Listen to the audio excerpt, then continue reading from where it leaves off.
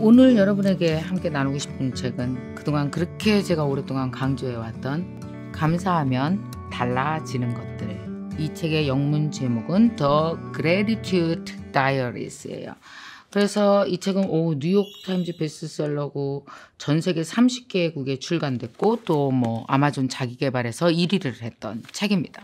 저자 소개를 먼저 잠깐 해드릴게요. 어, 저자 이름은 제니스 캐플런입니다. 제니스 캐플런. 어, 이분은 감사 프로젝트를 진행하여서 어, 결혼 생활이라든지 가족이라든지 일에 대하든지 건강, 일상의 소소한 경험에 대해서 새로운 시각으로 이 감사에 대한 것을 풀어놓았습니다.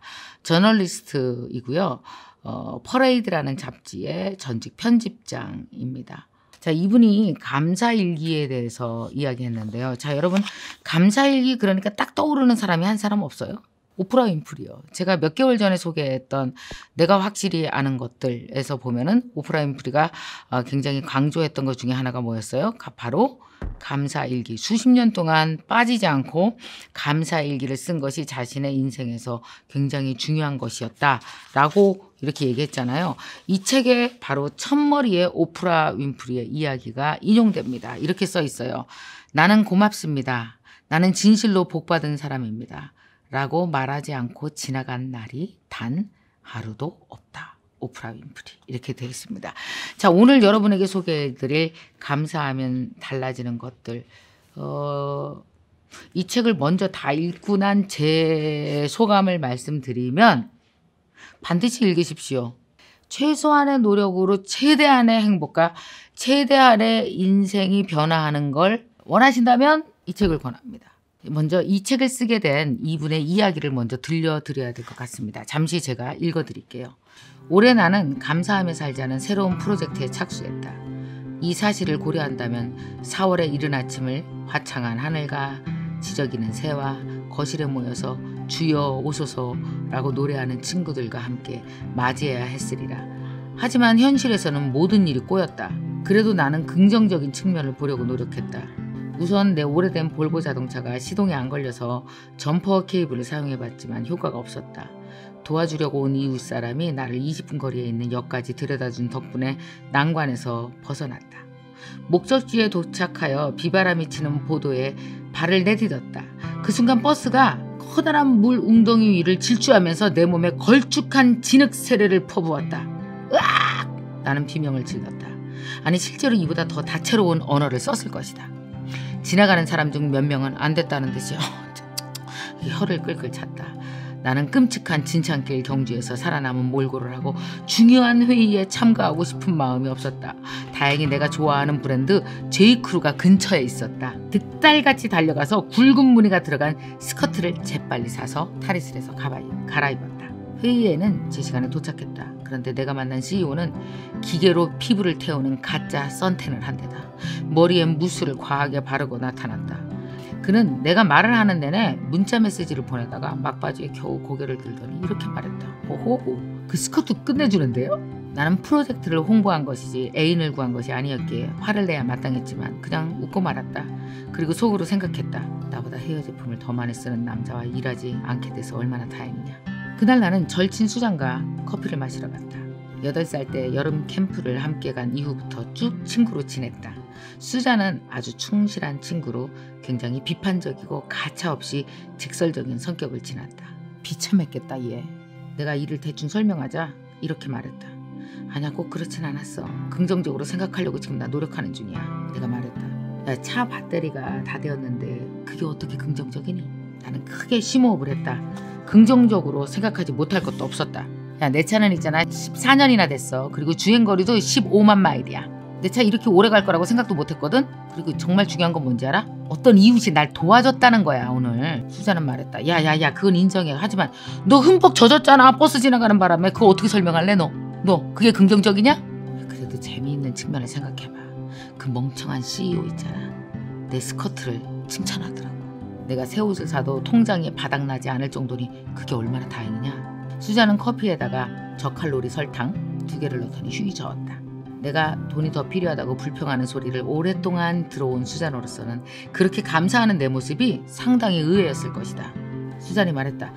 난 네 절친이잖아. 뭐든지 욕하고 불평해도 돼. 그러지 말고. 아니야 아니야 아니야. 나 불평하고 싶지 않아. 나는 이렇게 말하며 수잔만큼이나 나 자신에게 놀랐다. 이미 일어난 일이잖아. 그러니까 내가 바꿀 수 없는 거지. 내 생각을 바꾸는 게 마음이 편해. 수잔은 커피를 오랫동안 훌쩍거렸다. 수잔은 야심이 크고 자신을 혹독하게 내모는 성격이다. 자기 일에서 크게 성공을 거두었지만 스트레스와 압박감을 자주 느끼고 종종 우울감에 빠진다. 대부분 사람들이 그렇듯이 수잔은 자신이 원하는 것을 집중하느라 너무 바쁜 나머지 현재 가지고 있는 것에 행복해 하는 법을 잊어버렸다. 나의 긍정적인 태도가 거슬릴지 모른다는 우려와 달리 수잔은 한쪽 눈썹을 쭈어 올리면서 이렇게 말했다. 야 있잖아 그 네가 연구하다던 감사 그게 이런 거니? 그거 나한테도 좀 필요한 것 같거든. 그거 어떻게 동참하면 되는데? 이제 나의 비밀을 공유할 때가 되었다. 그래서 냅킨 맨 위에 내가 오늘 감사하는 세 가지 이유라고 적었다. 그리고 그 냅킨을 탁자 맞은편으로 쓱 밀어 넣으면서 펜도 수잔에게 주었다. 거기 채워봐. 내가 말했다. 수잔이 냅킨을 어찌나 오랫동안 쳐다보는지 나는 결국 냅킨을 도로 가져와서 세 가지의 X 표시를 하고 한 가지로 바꾸었다. 우리 쉽게 가자. 내가 말했다. 나 역시 몇 달 전에 그랬다. 매일 감사할 거리를 한 가지씩이라도 적으면 만사에 대한 내 태도가 바뀐다는 사실을 이제 나는 알게 되었다. 새빨간 저녁 노을, 좋은 친구의 포옹, 한 해의 첫 봄 기운 등 한 가지면 된다. 설마 한 가지도 찾지 못할 사람이 있을까? 이 책에서 되게 재밌는 조사 결과가 나왔어요. 이 저자가 직접 조사를 했습니다. 존 템플턴 재단이라고 있어요. 여기에 지원을 받아서 조사를 했답니다. 그랬더니 사람들은 감사와 관련해서 되게 커다란 갭이 있는 거예요.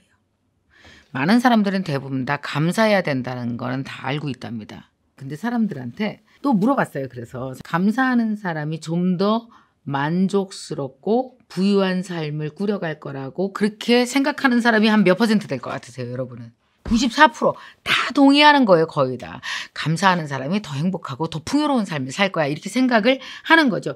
일상에서 평소에 감사하면서 산다라는 사람은 실질적으로 몇 명 될 것 같으세요? 무려 50% 미만이랍니다. 저는 이 책을 읽으면서 첫 번째 느낀 게 뭐냐면 야 이거 감사하는 거 실력이구나. 이거 아무나 하는 거 아니구나. 이거 엄청 연습해야 되는 거구나. 그러나 연습하면 누구나 늘 수 있는 거구나. 자, 먼저 감사를 하면 그럼 뭐가 좋은가? 여러분 궁금할 거 아니야. 그러니까 솔직히 말해서 감사 안 해도 살아. 그래서 감사를 하면 도대체 어떤 장점이 있나 알아봤더니 첫 번째 보겠습니다. 행복은 올라가고 우울감이 되게 낮아진답니다. 감사를 일상생활에서 늘 규칙적으로 할 경우 그렇게 된다는 거죠. 이 책의 133페이지에 보면은 이런 글귀가 나옵니다. 자, 감사하면 뭐가 두 번째 좋으냐? 바로 이거였는데요. 감사를 하게 되면 불행을 재구성한대요. 자, 예를 들면 이런 거예요. 길로비치 교수라는 분은 오랫동안 이렇게 심리와 감사에 대해서 연구하시는 분이거든요. 이분이 이런 얘기를 했습니다. 감사하는 마음은 실제 일어난 일이 아니라 경험을 어떻게 기억하느냐와 관련이 있어요. 내가 오늘 지나온 내 경험을 어떻게 이해하느냐와 관련이 있어요. 라고 얘기를 하는 거예요. 한번 예를 들어서 이게 설명을 좀 드려볼까요? 이게 흔히 일어나는 일이 약속이죠. 반드시 꼭 만나야 되는 사람이었어. 만나기로 했어. 근데 어, 두 시간 전에 전화 와 갖고 어, 오늘 급히 뭔 일이 있어서 못 만난다고 얘기를 해요. 그러면 그 약속이 취소되는 바람에 좀 속상하긴 하지만 그러나 이제 어떻게 돼요? 약속 취소되는 바람에 그 동료 직장 동료랑 가서 야 맛있는 거나 맛있는 거나 그래서 이제 맛있는 거 먹었어. 그럼 그날의 감사일기가 쓰여지는 거죠. 약속이 취소돼서 더럽게 기분 나빴다. 이게 아니고 감사 세탁기가 있다면 사건을 거기다 넣고 돌리는 거예요. 그래서 탈수가 탁 뛰갖고 나와. 사건이 탈수가 돼서 나오면 어떻게 나와요? 뽀송뽀송해져 갖고. 아 그래도 동료랑 그 덕분에 식사 맛있게 하고 너무 좋았어요. 이렇게 되는 거죠. 뭐가 늘어나는지 아세요?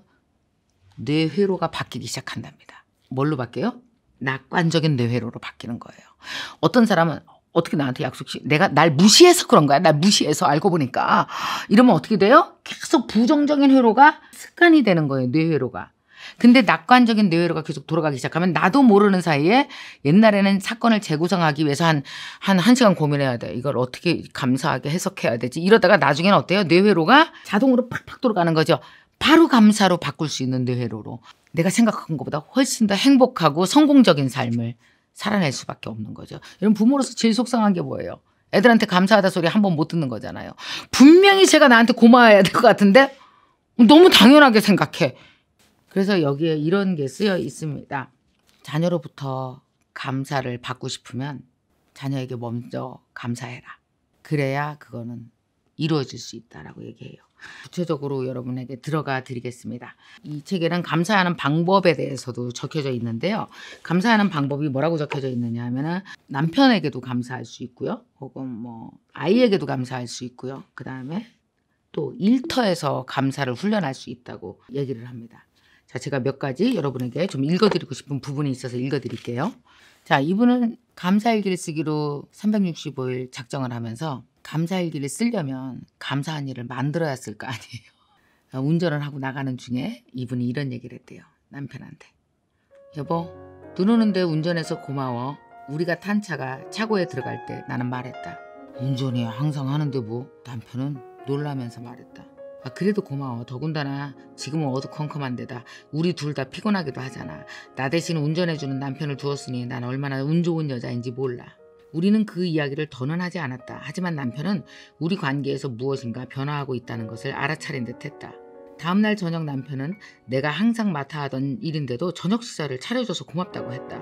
나는 별거 아니라는 표정을 지었지만 그 말을 생각하면 아직도 기분이 좋아진다. 무슨 일을 하든지 간에 인정을 받는 것은 기분 좋은 일이다. 처음 며칠 동안 나는 남편에게 의식적으로 고마움을 표현했다.